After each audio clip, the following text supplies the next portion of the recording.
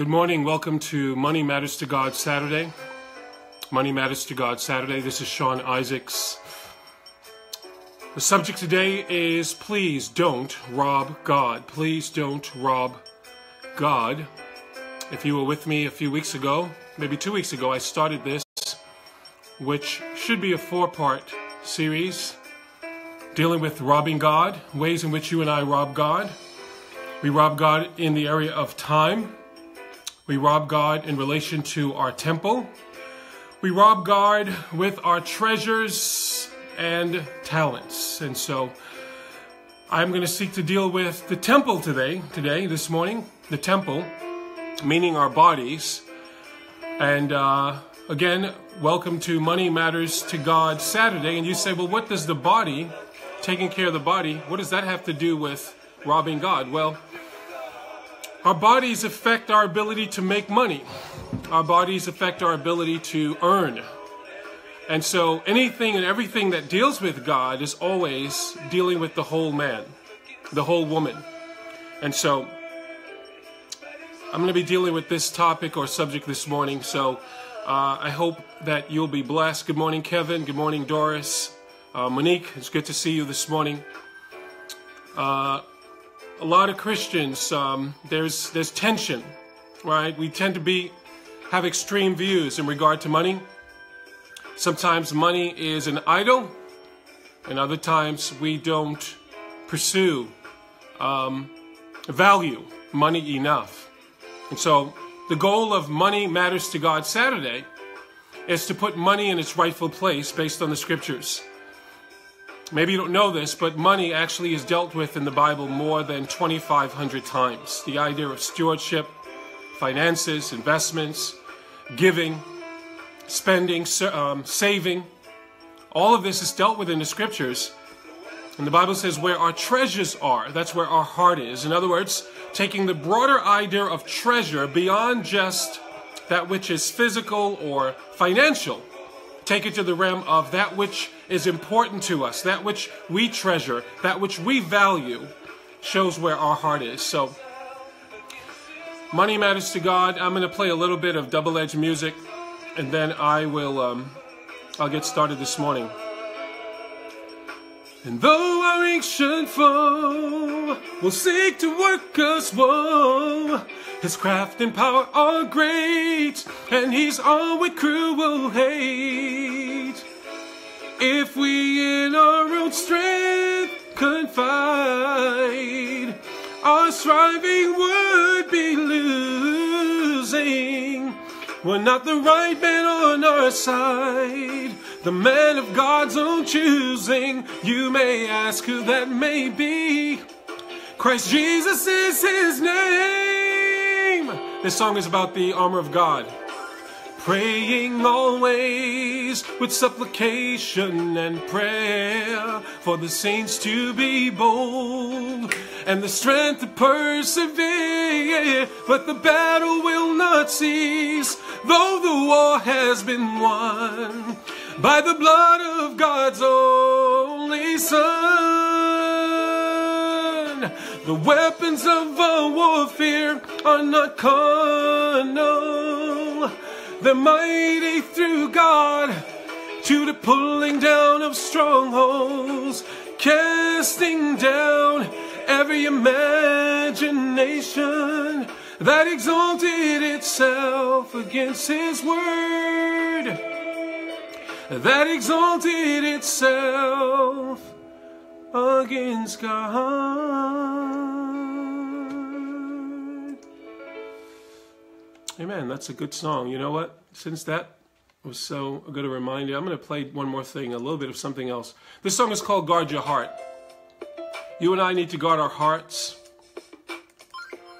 And the way we guard our hearts, we guard what we see, we guard what we hear, we guard who we spend time with, because bad communications corrupt good manners. And so this song is called Guard Your Heart. My brother and I wrote this maybe about 15 years ago.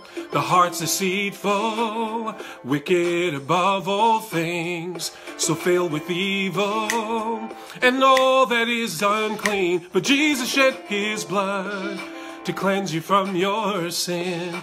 He's given you a new heart, and now you're born again. Guard your heart, guard your mind, how you live, and what you say, things you hear, who you're with, what you say, and what you do. Somebody's watching you.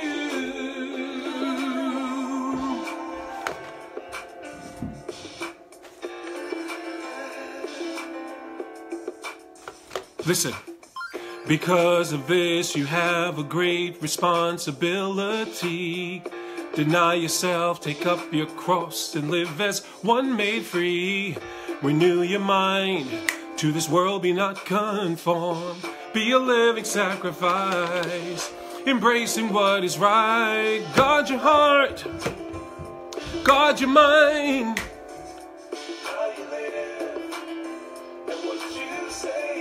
Things you hear, who you're with, who you're with, what you see and what you do. Somebody's watching you.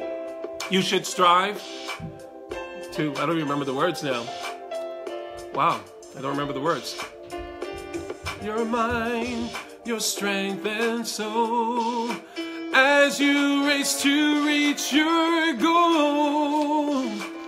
You should always live like somebody's watching you.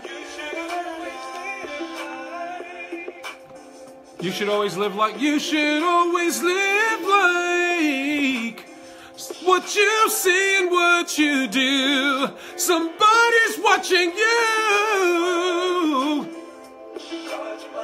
Music is powerful. By the way, tomorrow is Music Matters to God Sunday. Today is Money Matters to God Saturday. But music creates an environment. Music, the right type of music, invites the presence of God in your midst. I hope you love music. I hope you have good music. I hope you listen to music. I hope you sing music. Because music is something God is very passionate about. And there's a lot of singing going on in heaven according to the Word of God. So, anyway, that song is called Guard Your Heart what you and I see, what we do, somebody's watching, somebody's watching you. Great song. Anyway, welcome to Money Matters to God Saturday. Money Matters to God Saturday. And my goal with every Saturday with these devotionals, I'll call them that, is to help us to continue to look at how, how God sees money. Many of God's people are struggling financially, and a lot of it has to do with how we see money. Many of God's people are unable to get ahead, even though we have lots of declarations, lots of affirmations, and all these things that are going on. You know, you can think yourself into positivity, but that doesn't mean your life is going to change because faith without works, scripture says, is dead. And so there are dead works, and then there are living works. There are good works. Now, sometimes when God's people talk about works, in our effort to de emphasize works and emphasize the fact that we are saved by grace, we go so far in emphasizing grace that we somehow believe that to be saved by grace through faith means now that there are no works involved. And that's not biblical. The Bible says faith without works is dead. So true faith has living works to it. See, the thing that God condemns in the Bible is not works. What God condemns are works that are not by faith. The Bible calls those dead works. Hebrews chapter 6 says we are to move on to a place of maturity from the elementary principles of the doctrine of Christ. There is a doctrine of Christ. There are six elementary teachings related to that doctrine. The first one is repentance, not just repentance in general, but repentance from dead works. Secondly, faith toward God. Then the doctrines of baptisms, laying on of hands, and so on and so on. So from God's perspective, repentance from dead works is an elementary principle. It is not works that God condemns, it is dead works that God condemns. Why is this important? Because a lot of times our view of money, our view of scripture, our view of God's blessings makes us believe that we are entitled to something because we're God's people. And so when you believe you are entitled, when you feel you are entitled, you get easily discouraged when things get hard. Let me say it again. When you believe you are entitled to something, you get easily discouraged when things get hard. When you understand that everything in this life that you and I take or possess requires work, requires effort, then we're not discouraged by difficulty. We're not discouraged by obstacles. We don't faint or quit in the day of adversity. We continue to persevere. Why? Because we understand that by the sweat of our brow we eat bread. We understand that that which costs nothing is worth nothing. We understand that even though God has promised his people blessings, even financial blessings, since that's what we're talking about, those blessings don't come without work and effort on our part. Because everything that God does uh, has a means. Everything that God does has a means to an end. And so God will give us the promise, which is the end or the goal, but there are means to accomplish it. God is sovereign. You and I are responsible. So we are the means often that God will use to accomplish that which he has promised or declared. Example, Joshua 1. God says to Joshua, every place that you tread, everywhere that your feet walks, past tense, I have already given it to you, Josh. Josh, he calls him Josh for short. But you understand if you read the book of Joshua that Joshua didn't receive anything from God without effort on Joshua's part. Joshua didn't just stand and wait for God to provide the land of Canaan.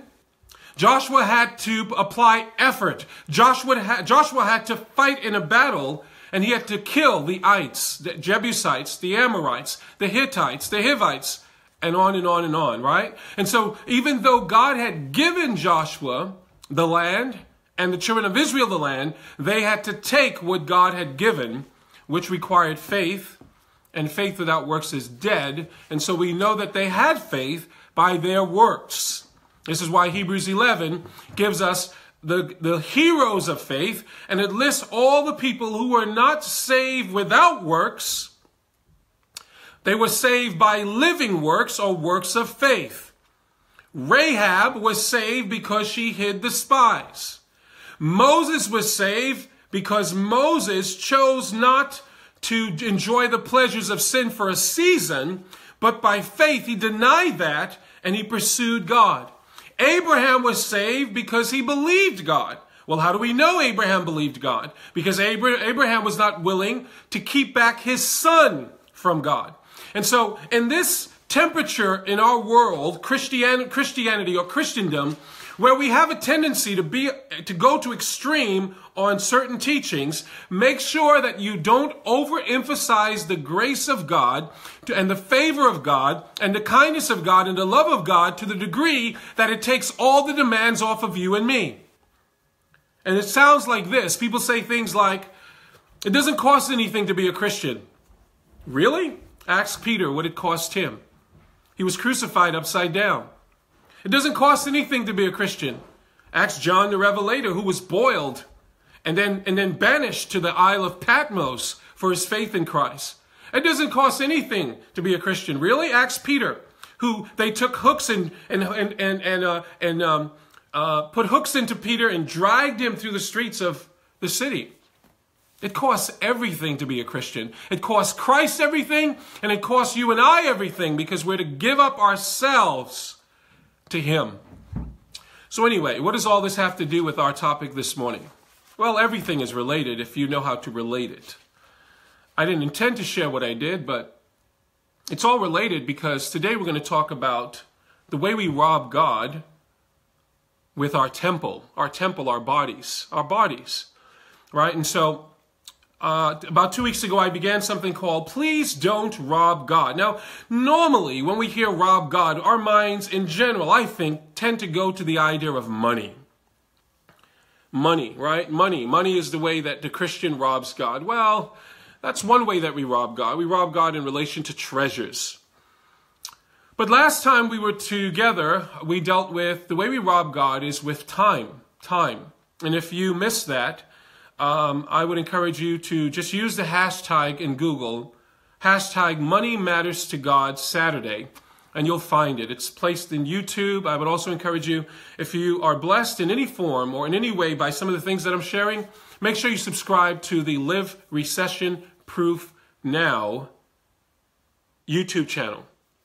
Because at some point, I tend to, I usually upload all of these videos or have someone on my team upload all of these videos to YouTube. All right, so Money Matters to God Saturday. My goal with this is to teach God's people how to live recession proof now. Every Saturday. The goal is to teach us how to glorify God through industry and enterprise. And the way we do that is we live on less than we make, we responsibly pay off our debts, we produce multiple streams of income. One income is not wise living in America. Now, if you lived in a poor third world country, that's a different issue. But I believe everyone that lives in America should have more than one stream of income if they are a child of God. The Proverbs 31 woman had many streams of income. Just read Proverbs 31. You'll see that she bought land, she was an investor, she made clothes, and on and on and on. She was she purchased fields, she understood how to redeem time and how to use all that she was to bring glory and honor to God. That, that is, in my mind, to put God on display to cause people to ask questions about our faith, not just about our spiritual life. See, this again is what happens with us as God's people. When we think of glorifying God, there's a tendency for some to only think about our spiritual relationship, meaning our church life. Well, you can put God on display by your education, by your academics. Daniel, Shadrach, Meshach, and Abednego were 10 times wiser than everyone else around them, and it cost caused, caused the world to come to them for wisdom. There was a time when the world used to come to the church for wisdom, when presidents came to the pastors for insight and wisdom, when the leaders of countries went to prophets to know what to do, like Elijah and Elisha. We don't see much of that, as much of that today. If it is happening, I'm not aware of it. But part of that is we tend to compartmentalize our lives and people don't see that God's people can be wiser in all areas. I don't think it's a coincidence that, that there are more Nobel Peace Prize winner, winners per capita among the Jewish community than any other community. As far as scientists, as far as philanthropists, as far as income generators, when you take the population of the Jewish community, making up less than 1% of the world's population, less than 3% of the US population, you look at their blessings monetarily, scientifically, academically, educationally, compared to the rest of the world, it, it cannot even be compared. I don't believe that's just related to the fact that God said that they would be the head and not the tail, or that God said to Abraham, through you, all the nations would be blessed, because that promise Genesis 12 through 15 is tied in Galatians to Christ, who is the seed. I do believe, though, that because they have learned from the Torah, from the Tanakh, from the Old Testament, and they have followed much of what that says in principle, though not all of them are orthodox in their views, that they get to reap the benefits. So, anyway, now I have done with my rant. Let's talk about how we rob God with our temple, our temple, our temple. Please don't rob God. Let me begin with prayer. Again, as you can tell if you know me at all, my mind is filled with a lot of information. And one of the hardest things for me to do is to tie it all, is to, is to slow my mind down because for me, everything is connected and I have a tendency to try to pull it all together. And depending on the way you learn, for some people, it's so scattered they can't receive it. Others, it's like a buffet. They're like, keep it coming. And so, since I understand that people are all wired differently, uh, differently, I need God's wisdom to to be able to stay focused, right, and stay on topic. And my wife is always reminding me. She's like, "You are all over the place," and that's just how my mind works. Okay. Uh, anyway, what I say to her is, "A prophet's without honor in his own home." Yeah. So you can always find a scripture to help justify and keep things the way you want it to be. Anyway, uh, Doris, good to see you. Kimberly, good to see you guys. Uh, I want to begin with prayer. Father, Lord, I humbly bow before you, knowing that you are the Lord God. of all creation. You're the God of Abraham, the God of Isaac, the God of Jacob.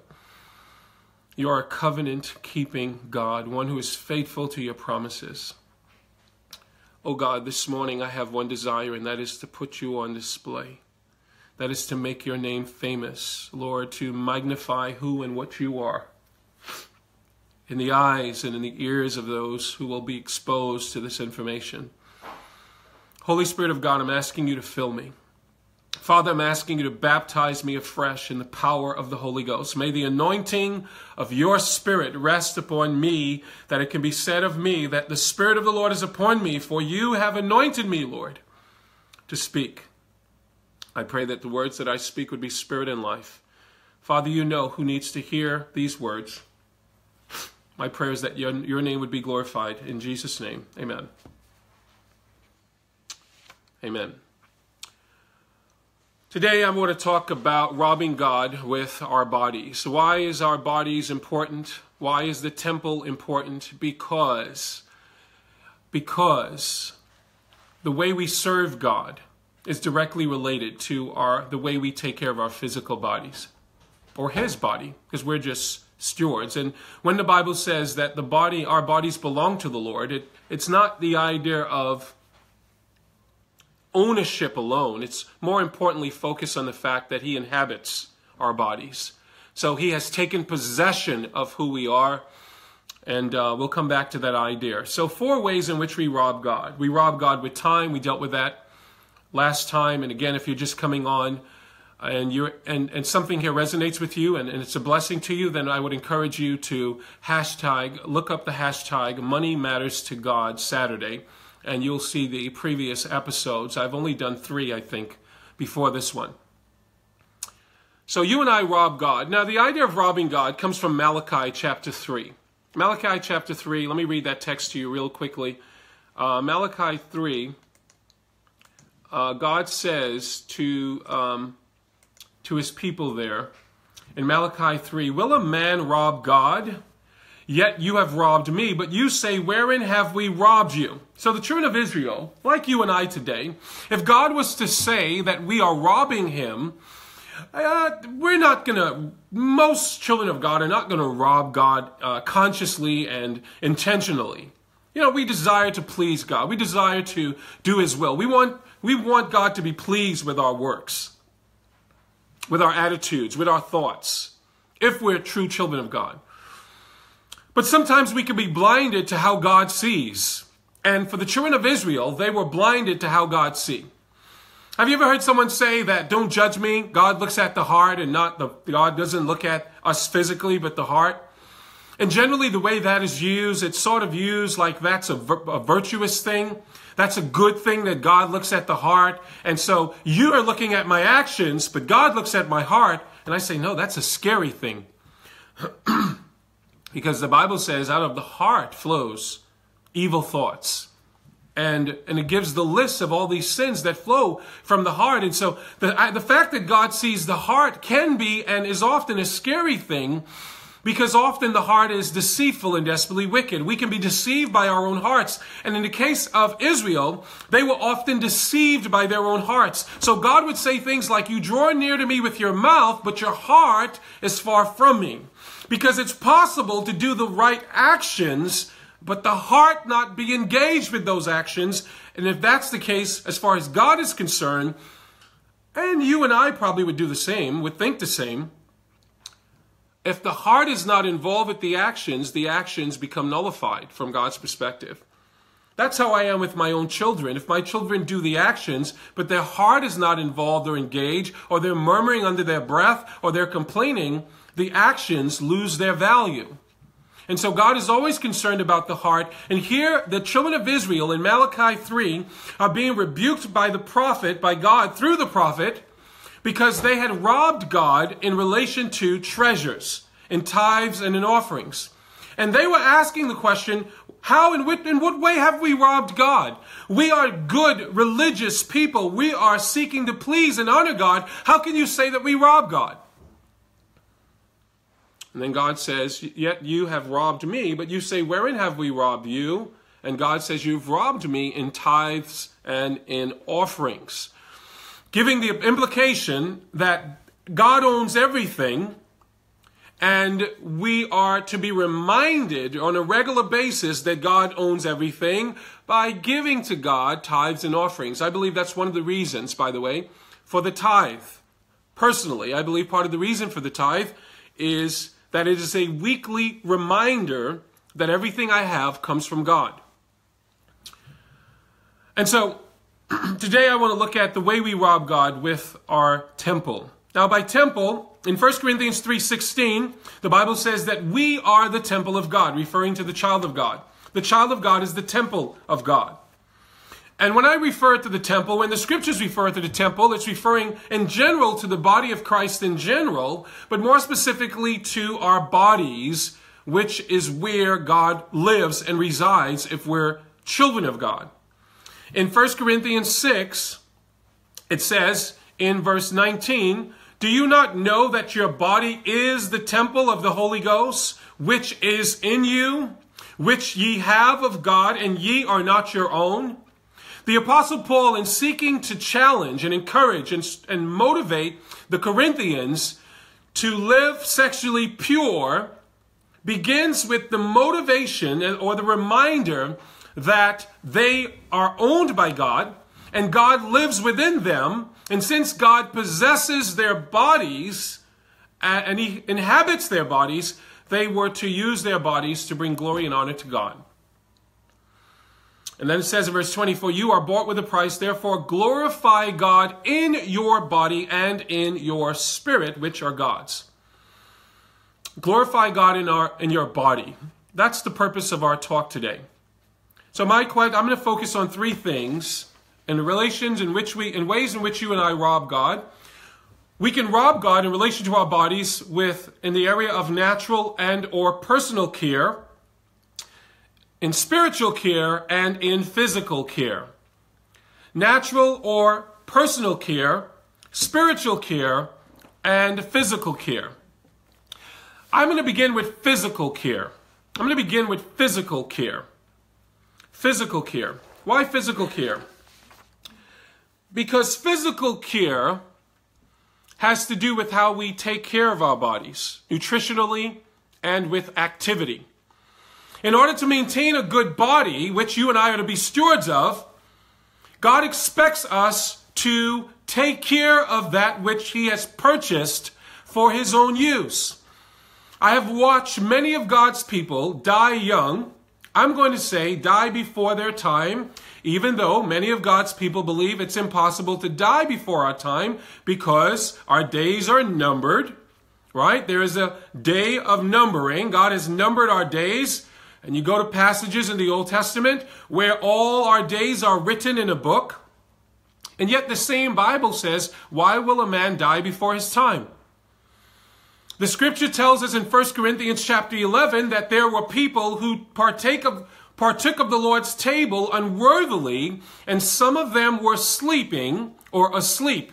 In the Old English or Authorized Version, to be asleep there means to be dead. And that dead was a judgment of God. Now, to say that they didn't die before their time, I think would miss the weight of the text, which says we should not partake of the Lord's table unworthily. And this is what I mean often when I say the Word of God is filled with tension.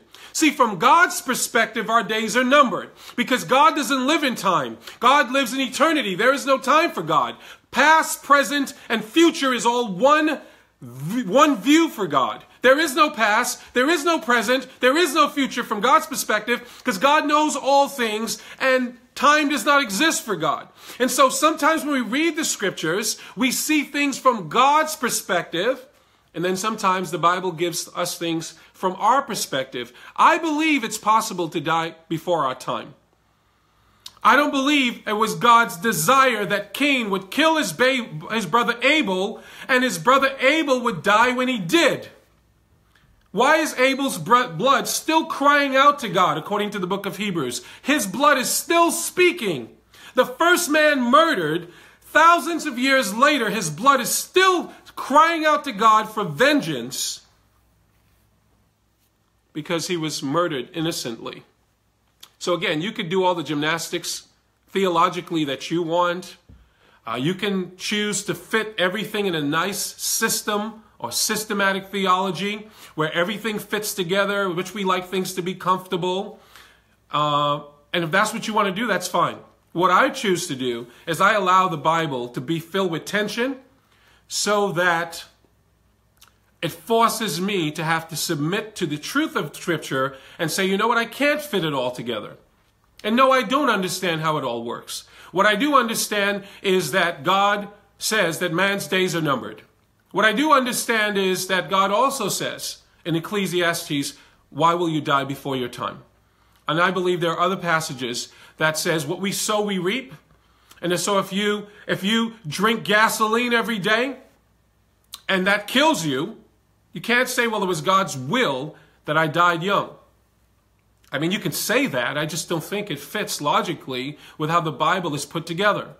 And so I want to begin with this idea of physical because a lot of times God's people tend to, we tend to not think the physical is important. And we say things like, we go to passages like, uh, let's see, Timothy, let's see, I think it says bodily exercise is profitable for little. But um, let's see, bodily exercise. I think that's, let's, let me see if I can find that. Give me a second. 1 Timothy 4 8 says, For bodily exercise profiteth little, but godliness is profitable unto all things. You know what some have done with this text? What some have done with this text is say, bodily exercise profits not at all. That's not what it says. The point that's being made is bodily exercise profits little when compared to spiritual exercises, when it when compares to eternity. How many people, how many of God's people die young of diabetes, unnecessary terminal diseases, uh, uh, high blood pressure, and so on and so on? Why? Why? It doesn't have to be this way. And again, I'm not knocking or condemning anyone. What I am saying is we are to glorify God in our bodies. Our bodies is a temple. One writer on this in the 1800s says this. He says we need to watch over all our habits so as to keep the body in the fittest state possible to do God's will. This is the highest object of health, that the members may be instruments of righteousness unto holiness. Members there meaning our bodily parts, our hands, our feet, our heart, our ears, our eyes. That's our bodily members.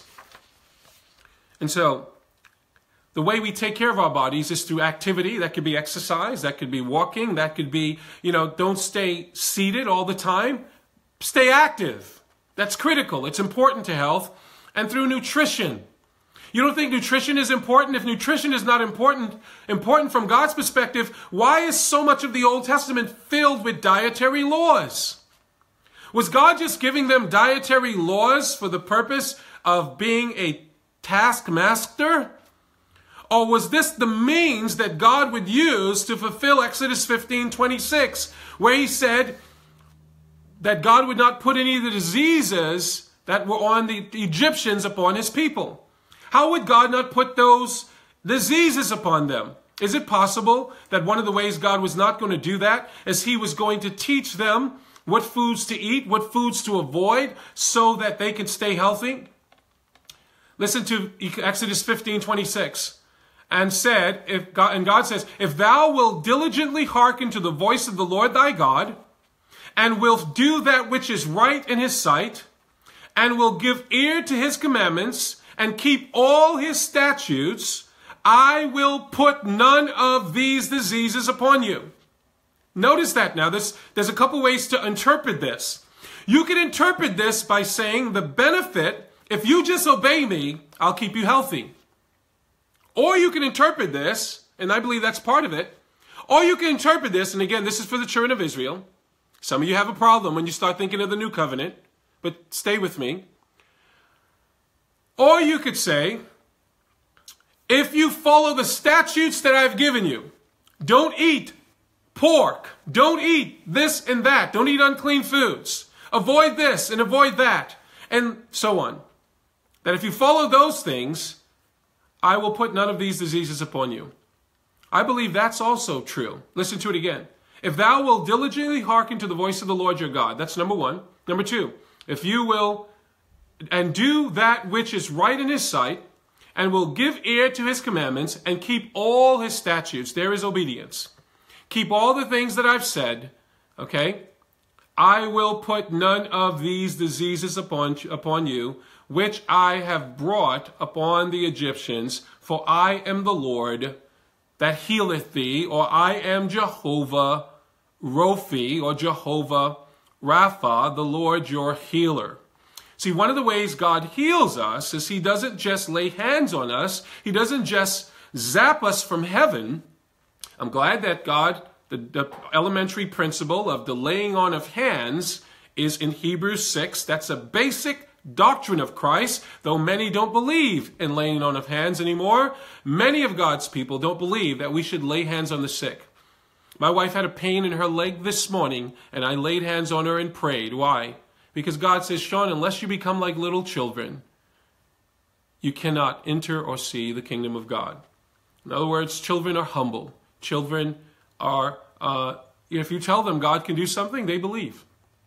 And so, again, my point here is yes, I believe we should lay hands on the sick and pray for them. Does everyone recover? No, that's God's business. But I want to obey what He says. But I also believe one of the ways God strengthens us and keeps us is as we follow the principles of Scripture. We follow the principles of Scripture. You know, the healthiest denomination among the people of God is the Seventh day Adventists. Maybe you didn't know that. Do a little bit of research. The healthiest group of Christians or denomination of believers in the world, based on studies and data, are the Seventh day Adventists. And many of them follow the old laws, right? And they get condemned for being under the law. But maybe there's some principles there. Now, I don't believe we should live under the law, but I do believe all things in the Old Testament were written for our admonition. They were written for our encouragement. They were written for our comfort. They were written for our example. Those are the four main reasons why they were written. Admonition, they were written for warning. God wouldn't warn us if it was impossible to experience what they did. It was written to bring comfort to us because we see how God uh, comforted them, how God dealt with them. We can receive comfort from the scriptures. It was written for our, for our. Um, actually, I'm not even going to try to remember the four things I told you, but you get the point. The point is, though we may not be controlled by the law under the Old Covenant, it doesn't mean that there is not benefit from understanding the principles found under the Old Covenant. See, the law is a schoolmaster to bring us to Christ. Doesn't mean the law is not good. The law is good. The law is spiritual. The law has a purpose. I understand that law there, as Paul is describing in Romans 7, is the Decalogue, the Ten Commandments. But there are principles throughout the Old Covenant that you and I should follow. So you and I rob God with our temple by not taking care of our physical bodies. We, when we don't take time to learn how to eat, what to eat, what to avoid. Years ago, I remember I have a real strong godly mom, and I thank God for her, and I'm a Christian today because of her love for Christ and her zealous prayers and fervent prayers. Um, but I remember years ago when my wife was diagnosed with cancer. Some of you heard me tell this story. When my wife was diagnosed with cancer for the first time, my family and I uh, began to educate ourselves and we changed a lot of our diet and our activities and our habits related relation to nutrition and food. And um, and uh, we were trying to get my mom. My mom had diabetic issues and some other issues, and we tried to convince her that she should change her diet and eat better. And uh, my mother, my mother used to say, you know, listen, we're all going to die sometime, uh, and would quote scriptures related to um, our days are numbered and blah blah blah, and uh, and so she never made any changes, and uh, she ended up getting cancer in her thyroid, and uh, had to have surgery. Uh, I think it was almost like forty thousand dollars for the surgery in Florida, and within a year, that same cancer came right back. And uh, and then we said, Mom, see, we are telling you, yes, I don't have a problem with you having surgery. They that are sick need a physician. But just because the quote unquote doctor solved your problem doesn't mean you should not become more responsible with how you take care of your body. And so uh, we began to speak and teach my mom how to eat and how to juice and what things to do and so on. And uh, I'm glad to tell you today that that's almost uh, maybe 15, uh, 16 years now, 15, 16 years. And um, that cancer never came back, thank God. You know, and she, I've talked to her just a couple days ago. She's telling me, stay away from sugar, and telling me, and I'm like, Mom, I thought we had, we were the one that, ones that uh, brought some of this knowledge to you. My point here is the way we rob God, we rob God of the energy that could be used in His kingdom for His glory because we're not good stewards of our bodies. We're not good managers of our bodies. The, uh, one of my favorite hymns is the hymn, Take My Life and Let It Be. Some of you know that. The songwriter says, Take my hands and let them move at the impulse of your love. Take my feet, let them be swift and beautiful for thee swift and beautiful for thee. Take my voice and let me sing, always only for my King. Take my lips and let them be filled with messages for thee. The songwriter identifies their body as an instrument for righteousness. Their body is something that can be used to bring honor and glory to God. The lips, the voice, the hands, the eyes, the ears, the feet. But these things cannot be given with full energy if we are always sickly, if we are always weak. Right? And so Paul says, I labor more than them all, yet not I. It was the grace of God that was with me. Not to condemn anyone, but sometimes we can't labor as much as God desires us to because we're not getting proper rest. That's not taking care of the body. We're not getting enough sleep. We're not getting proper nutrition. And it's not what you eat that matters, it's what we digest that matters. And so on and so on. And so, again, what does this have to do with money matters to God? Well, we need our energy, we need our bodies to be able to earn revenue. We need our mind to be sharp to know how to invest the resources that God gives us, how to spend, and on and on. You can make the connection. In other words, you cannot separate anything that we do from our bodies. And God says we should glorify God in our bodies and spirits, which are His. Which another way that we rob God in relation to our bodies? What about in natural and or personal care? Natural and personal care. Do you know the Bible is very concerned about hygiene and personal care? God talks about in the Bible about leprosy. You know, God talks about, you know, avoid those who have leprosy. Why? Don't touch the unclean, because it's going to make you unclean. God told Samson, I don't want you to touch, you're going to have a Nazarite vow. You're not to touch dead bodies. Why? Because that's going to make you unclean. God is very concerned about hygiene. In the book of Exodus, uh, God tells the children of Israel, when they were to come up to the mountain, that they were to First thing they were to do was to clean their clothes. You say, what? Clean your clothes? What in the world does that have to do with, with coming before God for worship? See, all these things are related in God's mind. Um, the Bible says in Exodus 19, listen to this. 19 verse 14, And Moses went down from the mountain unto the people and sanctified the people, and they washed their clothes.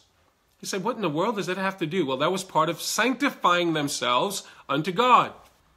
In the New Testament and under Jewish law, you see this throughout the Old Testament, they would have washed their hands. Why would they wash their hands? Now, they made what God had commanded so much of a tradition that it lost its value. But God was still concerned about hygiene. God was still concerned about cleanliness. Cleanliness. God is a God, God of order. And so, one of the ways that you and I glorify God in our bodies is by natural and personal care. I'm not going to spend a lot of time here. If you're okay with smelling, if you're okay with all that type stuff and you don't have a personal desire to have good hygiene, then that's on that's on you, right? That's on you. I'm not even gonna, that's I think you don't even have to be a Christian to know that that's important. But I'm only using the Bible to show that you may think that this is just a natural thing. There's nothing natural when it comes to God's world because anything that is true and that is orderly flows out of the character of God, right? And so, though we may not have a direct command in Scripture, we can see the principles of Scripture that undergird these things. The last thing is spiritual care, spiritual care of our bodies. So there's physical care of our bodies, natural care of our bodies, and then uh, we tend to rob God with our physical, our spiritual care of our bodies. Now, in the text in 1 Corinthians chapter 6, Paul was dealing with sexual sin among the Corinthians, and he admonished them by saying they were to glorify God in their bodies and their spirits, which are God's. Well, you and I should be jealous, should jealously watch over our bodies not to allow our bodies to be polluted with sin. Why do we not want our bodies to be polluted with sin? Because if our bodies become polluted with sin, it affects our worship to God. Uh, 2 Corinthians 7 says that we should, should, should cleanse ourselves from all filthiness of flesh and spirit, perfecting holiness in the fear of the Lord. Why should we do that? Because God has called us to himself, he calls us his children, and our worship is more pure and acceptable when it comes from clean vessels. And so, uh, the probably most familiar text of Scripture in relation to giving our bodies to God, which belong to Him anyway, is Romans 12, right? You know this. Romans 12, verse 1 and 2. I beseech you, therefore, brethren, by the mercies of God, that ye present your bodies a living sacrifice, holy. Notice the word holy. So much here that we can spend time thinking about, but God says we're to present our bodies. To present something is like an act of worship.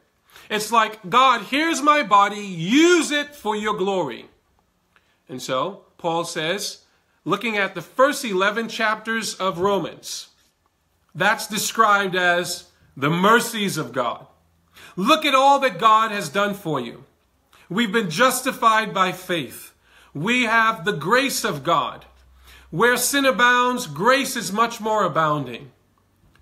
And it goes through all of these things. We have been uh, uh, Christ has become the righteousness of God to those of us who belong to God. And so we have all these mercies that have been shown and given to us. And Paul says it is only reasonable that if you are conscious that God has been merciful to you, that you, the least you and I should do is give God our bodies.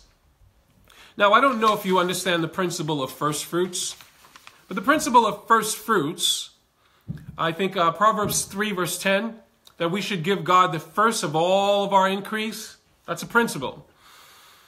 Not just for money, not just for tithing. I believe we should give God the best of who and what we are. This is why I believe we should give God the first part of our mornings in prayer and reading and devotion. To rob God, the idea is to deprive of something due, something expected, something desired. That's Webster's dictionary. And when you think of Scripture, God commands us to give him the best. Titus 2:14 says we should be zealous for good deeds. Colossians 1:10 says walk in a manner that's worthy of the Lord, pleasing him in all respects, bearing fruit in every good work. Romans 12:11 says that we should not lag in diligence, but we should be fervent in spirit.